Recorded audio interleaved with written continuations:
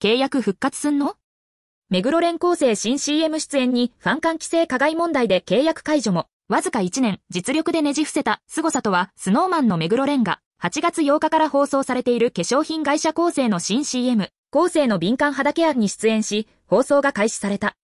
株式会社構成は、一人一人に合ったスキンケアを提供したいというコンセプトから、敏感肌で悩む人へ訴求する、構成敏感肌ケア、キャンペーンを開始。目黒ビジュアル入りグッズが当たるキャンペーンも実施されるという。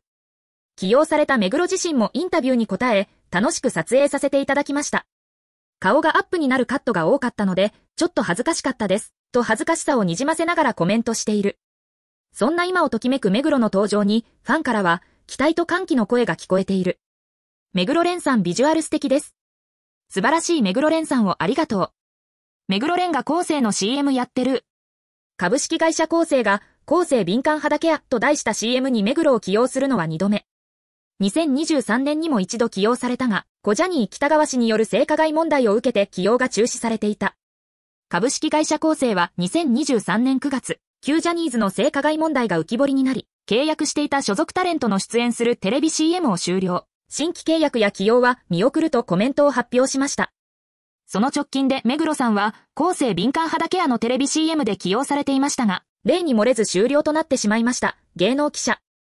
そんな背景もあってか、歓喜とともに驚きの声もある。後世の CM 復活なんかな？目黒蓮の契約復活すんの？